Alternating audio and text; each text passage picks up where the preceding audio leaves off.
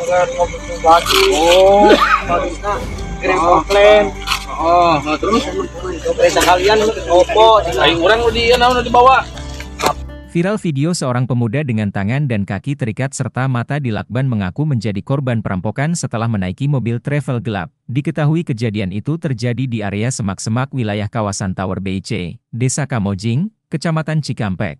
Dalam video berdurasi pukul 2.30 menit itu terlihat seorang pemuda tengah duduk dengan tangan dan kaki terikat serta mata, sementara seorang pria berpakaian polisi tengah membuka ikatan sambil memintai keterangan korban. Dalam video korban, Mengaku bernama Fadil warga Jatiragas, Kecamatan Jatisari, Karawang, korban menyebutkan dia menjadi korban tersebut ketika menunggu bus di tol. Kemudian ada mobil yang menawarkan ke Karawang.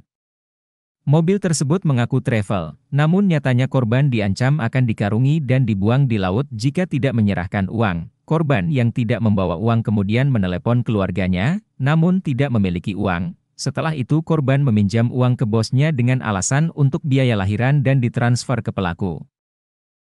Di di di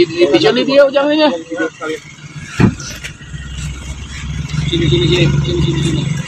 Di sini. Dari sini dari sini biar kelihatan dari sini kelihatan. nah Ah.